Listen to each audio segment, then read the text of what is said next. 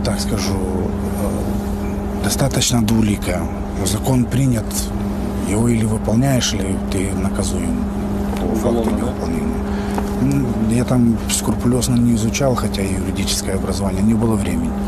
Но надо было хоть какие-то действия принимать для того, чтобы предостеречь себя в будущем. я не знаю.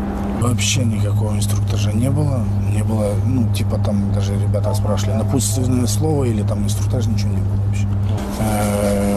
Никто не говорил, чего нам нужно делать, это во-первых.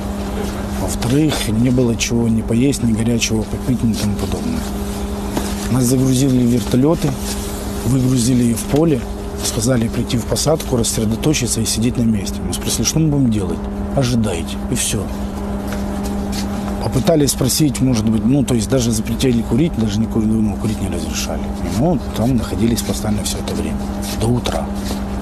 У нас даже были спальные мешки и тому подобное. Никто не сказал никому, что возьмите эти спальные мешки там, или еще что-нибудь, что вы там целую ночь будете находиться. Мы вышли вот на ваших.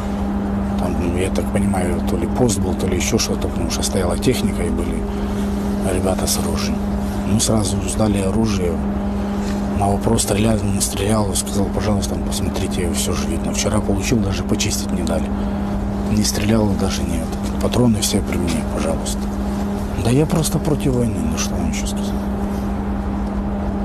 Как- Я не убивал, никогда и убивать не собираюсь. Вот и все. Я скажу так просто, я хочу домой. У меня есть родители, у меня есть еще один брат, вы не дописали